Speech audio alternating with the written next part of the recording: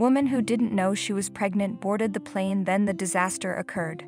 Dale Glenn was dozing off on a Delta flight from Salt Lake City to Honolulu last week when his 19 year old daughter abruptly elbowed him. Dad, they're calling for a doctor, she said urgently. About halfway through the six hour flight, Glenn swiftly sprung out of a seat. I'm a physician. What can I do? He asked the nearest flight attendant. She told him that a woman on the flight was giving birth in the bathroom. If you have not done so already, please subscribe to our channel and click that notification bell to get inspired by these real life stories every day. Now, back to this story. While a mid flight delivery would be alarming in any circumstance, it was especially so in this case. The mother was unaware that she was 29 weeks pregnant when she boarded the plane. I had no idea, Lavinia Lavi Mounga 38 said in a recorded video interview. The RMU Utah resident was headed to Honolulu for a family vacation and started experiencing severe stomach cramps during the flight. It turned out she was actually in labor. This is a 3 pound baby, not a 6 to 12 pound baby, Glenn said, explaining the preterm labor is usually faster giving the baby small size. While in the bathroom, she had the presence of mind to catch the baby and call for help, said Glenn 52. Soon after, though, she passed down. The scene was chaotic as flight attendants searched for healthcare workers while trying to keep concerned passengers calm and made the commotion. Fortunately for Munguia and her unexpected premature son, whom she later named Raymond, a team of medical professionals happened to be on the flight, including Glenn, who is a family medicine physician at Hawaii Pacific Health, and three neonatal intensive care unit nurses from Missouri. The nurses who were all taking a vacation together were immersed in their respective TV shows when suddenly we heard someone call out for medical help, said Lani Bamfield, 26, a nurse at North Kansas City Hospital. I want to see what was going on and see her there holding a baby in her hands, and it's a little. Her colleagues, Amanda Beeding 45 and Mimi Ho 27, sprinted from their seats to help. Although the three NICU nurses treat premature babies daily, they had never done it on an airplane, they said in a recorded video interview. Bamfield and Ho focused on the baby, while Beeding helped Muna deliver the placenta in the bathroom. Glenn was switching between the two patients. Though he was most concerned about Raymond. He was not breathing very well, Glenn said, plus the baby was non crying. Normally, you wanted to hear more noise, and this was about as quiet of a delivery as you can get. Given the baby's concerning condition and the fact that they were 40,000 feet in the air and still three hours from landing, the healthcare workers, with the help of airline staff and passengers, mobilized to form a makeshift NICU. Medical supplies were scanned, so they got creative using an Apple Watch as a heart rate monitor and shoelaces to cut through the umbilical cord. They also made a mini oxygen mask with first aid tape and a baby sized beanie out of one of the passengers' worn Reebok socks. Their primary objective was to keep the premature baby warm since he had no fat on his body and could get cold very easily. Glenn said, we basically made our own little incubator with hot water bottles and blankets.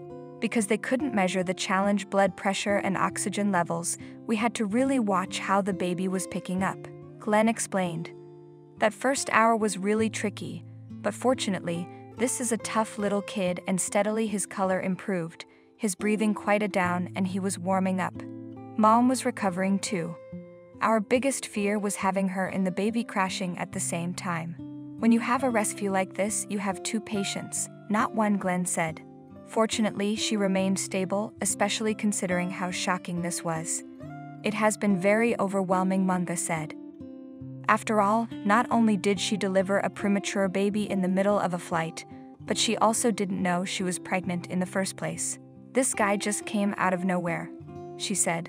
Holding her newborn son two days after the fly, Glenn called her condition a cryptic pregnancy, which occurs when a woman is pregnant but doesn't know it until late in the pregnancy when labor actually begins.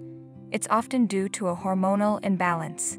It's more common than people realize, Glenn said, estimating that it occurs in about 1 in 400 pregnancies and happens more frequently in women with irregular menstrual cycles and first time mothers like Mounga, who don't recognize the signs. What is far rarer than a cryptic pregnancy Glenn said he's giving birth on an airplane. I was really grateful to have a full NICU team, he said. She and this baby were so blessed bursts on airplanes are extremely rare.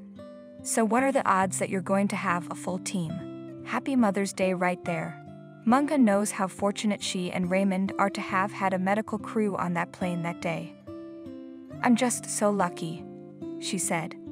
If they weren't there, I don't think he would be here. To show our gratitude, she asked Glenn's family to choose a middle name for her son, and his daughter thought of the Hawaiian named Kaimana, which means power of this seat. It's fitting, Glenn said, considering who was born flying 500 miles over the Pacific. Short scenes from the in flight escapade were compiled in a viral takeoff video, which captured Raymond's first crisis the planes finally landed in Honolulu.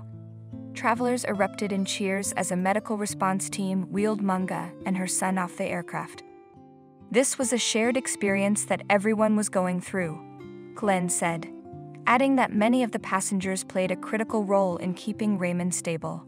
Passengers shared diapers, a blood glucometer, a thermometer, blankets, and anything else we asked for. There were a lot of heroes on that flight, he said. Everybody started working together, and it was this incredible feeling of teamwork.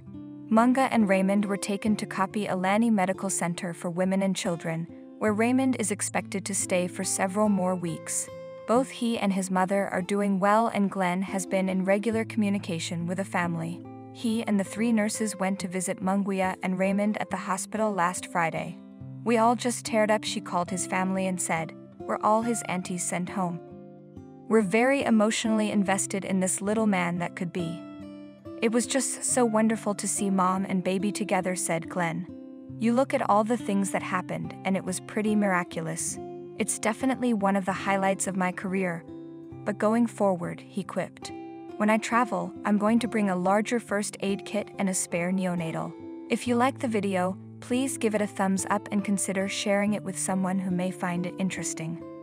Thanks for watching, and I'll see you in the next video.